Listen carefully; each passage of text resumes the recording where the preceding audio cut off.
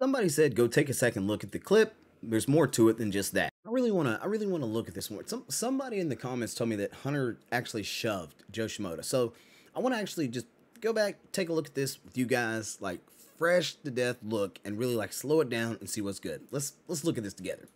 So let's look at this. Initially, you know, I slowed it down and and now now I actually do see. I actually see what see what they're referring to. That the it, it looks like a shove before he actually made contact with Shimoda. Okay.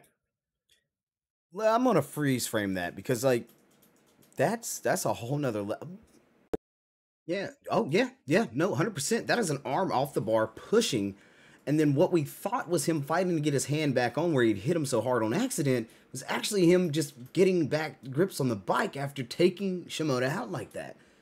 Holy crap! Yeah. I. You know what?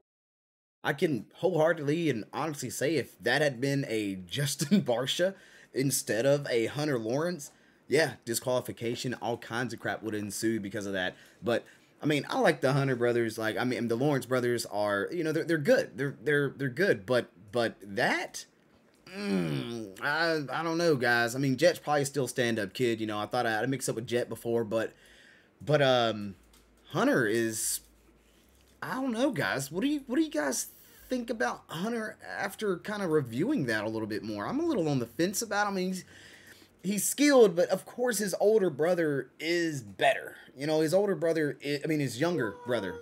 I always forget about that, that it's his younger brother that's faster than he is. And maybe that's why he's got more of a point to prove. And I, I do remember that they had actually mentioned that that in, in the pits, I heard Jett say, you know, it was a comment that he said. He's like, "Oh man, I didn't know you were in second. If I knew that, I would have let you get first. Like, pumped, but uh, also a little bummed I didn't get. I uh, didn't give Hunter an extra three points. So, but hey, it is what it is. Hopefully, he can uh, get second in this championship.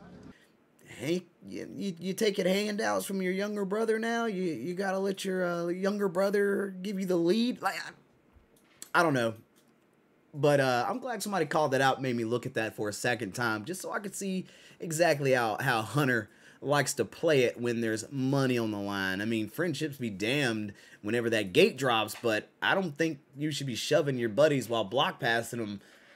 Period. That's mm, I don't think that's the right type of uh sportsmanship to show. Yeah. What do you guys think? In any case, however you feel about it, it is what it is, and the race is over. Um, if you guys want to check out any of the other videos that I've made, feel free to do so. I appreciate you guys hanging out with us, and we'll see you on the next one.